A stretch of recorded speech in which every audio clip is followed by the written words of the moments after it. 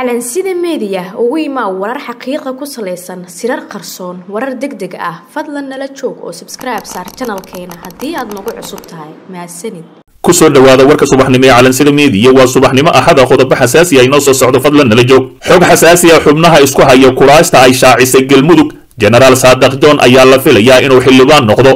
Cabdiraxmaan cabdishakuur warsameeye indhacadde ayaa ishaya mahad salaad iyo calijeeb ku jira ayaa ayaga ishaya dagaal xooggan filla soomaaliya iyo rooble tiimkiisa. Galmudug ayaa xalay shaacisay liiska kow iyo labaatan kursi oo dhowaan ay qabanayso doorashadooda kuwaasi oo ay ka soo dhex muuqdeen. Kuraas wajahaysa loolan aad u adag lacagtii ugu badnayd taariikhdana lagu bixinayo. Kuraasta sida weyn loo sugayo doorashadooda ee liiskani ku jira waxaa ka mid ahay kursiga hob laba boqol afartan iyo sideed oo u taagan jenaraal saadaq john ayaa ka soo muuqday liiska kow iyo labaatankani kursi ee maalmaha soo socda lagu dooranayo galmudug. Kursiga hob laba boqol afartan iyo sideed ayaa waxaa la rumaysnaa inuu isu taagi doono guddoomiye ku-xigeenkii aqalka sare abshir bukhaari kadib markii kursigiisa aqalka sare laga wareejiyey loona wareejiyey jufo kale. Si kastaba waxaa hadda soo baxaysa in abshir bukhaari aanu tartami doonin oo u daayay taliyihii hore ee booliiska gobolka banaadir jenaraal saadaq john taasi oo ka dhigaysa inuu si sahlan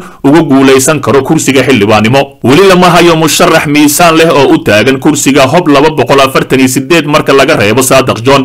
Jenaraal saadaq john ayaa lagu xusuustaa inuu yahay sarkaalkii ugu horreeyey ee ishortaagay muddo kororsigii farmaajo kadib markii uu ciidan duldhigay xarunta baarlamaanka federaalk soomaaliya taasi oo uu ku waayey kursigiisa balse ku kasbaday magac iyo sumcad aad u weyn sidoo kale waxaa kuraasta ka mid ahay kursiga hob boqol afartan iyo toddoba oo haatan uu ku fadhiyo xildhibaan mahad salaad. Kursigani waxa uu ka mid yahay kuraasta ugu adag ee laga warsugayo sida ay galmudug u maarayn doonto doorashadiisa. Calijaab ku jira ayaa loolan xooggan kala hortagi doono xildhibaan mahad salaad oo mucaarad ahi. Sidoo kale kursiga hob boqol soddon iyo sideed oo haatan uu ku fadhiyo xildhibaan saciid nuur ayaa xalay ka soo muuqday. Liiska kuraasta ay baahisay galmudug siyaasi cabdiraxmaan cabdishakuur iyo jenaraal indhacadde ayaa la rumaysan yahay inay ka mid yihiin musharaxiinta kursigaasi. Jenaraal indhacadde musharax cabdiraxmaan cabdishakuur warsame ayaa laga yaabaa in ay labadooda isku daayaan kuraasta kale ee doorashadoodu adag tahay ee liiskani ku jira waxaa ka mid ahi hob eber afartan iyo sideed oo jenaraal cabdulaahi gaafow uu ku fadhiyo hob afartan iyo sagaal oo mustaf sheikh cali dhuxulo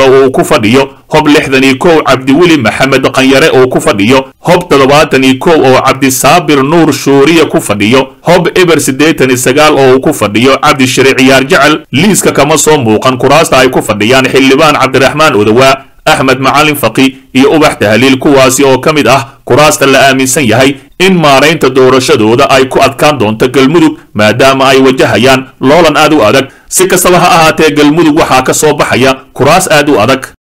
Bismi illaahi raxmaan raxiim alxamdu lilaahi rabbi alcaalamiin wasalaatu wasalaamu calaa ashrafi almursaliin sayidina maxamedin wacalaa aalihi waman tabica biixsaan ilaa yowm iddiin bismi illaah dhammaan guddiga sharafta leh ee fiid iyo guddiyada kaleeto oo doorashooyinka oo ka soo qayb galay. E, marti sharafta faraha badan ee hoolkan soo buuxisay. Saxaafadda iyaduna aada u badan oo iyana ka soo qayb gashay doorashadan. Dhammaantiin waxaan idinku salaamayaa salaanta islaamka.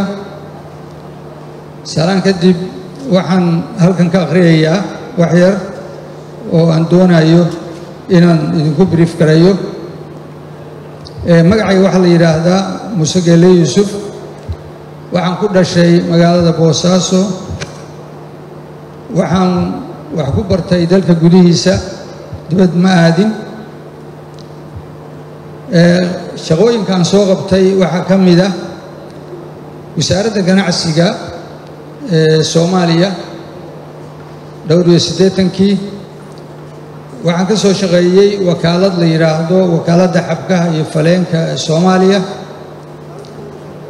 Waxaan ka soo shaqeeyey amba maayar ka noqday magaalada boosaaso.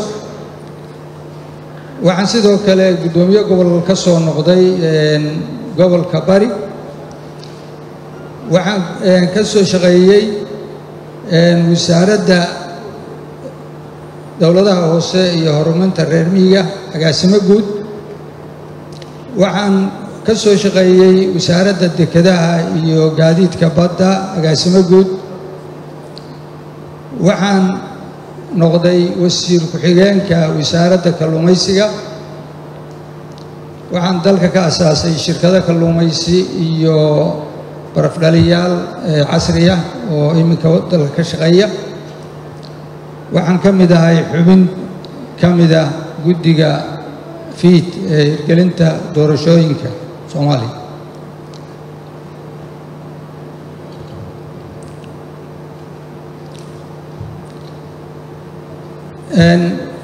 waxaan jeclahay in aan hirgeliyo doorasho hufan oo hanaankeedu saxan yahay oo cadaalad iyo daahfurnaan ku dheeraan insha allah iyadoo laga aan ka duulayno heshiisyadii madasha qaran ee ka bilaabmayey toddobiyo tobankii sebtembar laba kun labaatan ilaa iyo agost laba kun kow iyo labaatan heshiisyadaas ooy madasha qaran dhammaantood ku soo saareen habraaca iyo iyo iyo wakhtiyada doorashooyinka la qaban karo oo lagu jooj waxaan insha allah jeclahay inaan sameeyo isku xir guud oo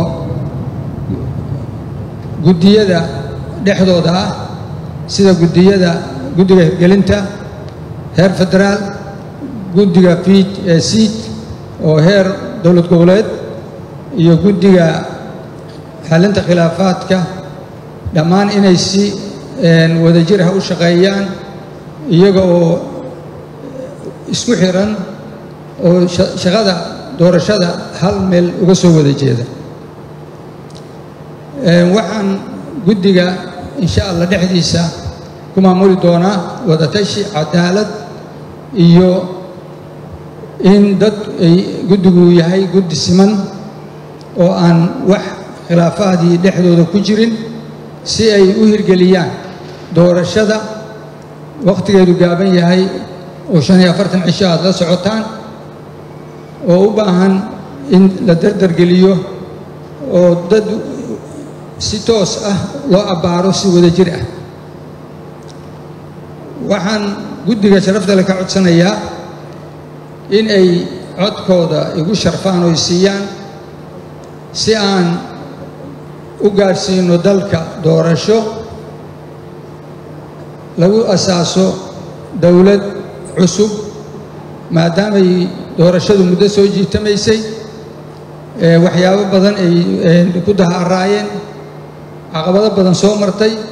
Maanta waxaan u guntanaynaa insha allaahu guddigayakan inaannu doorashada dardargelinno doorasho hufan oo hannaan wanaagsan oo dah furan inaannu qabanno insha allaahu oo wakhtigii madasha qaran ay soo saartay aan ku soo gabagabayno si dalku uga baxo buuqa iyo isqaqabsiga iyo dowlad la'aanta intaas ayaan ku soo gabagabaynayaa wasalaamu calaykum waraxmat ullaahi wabarakaatu dhegaystow ogow haddaadan xalka qayb ka noqon waxaad qayb ka tahay dhibaatada dalka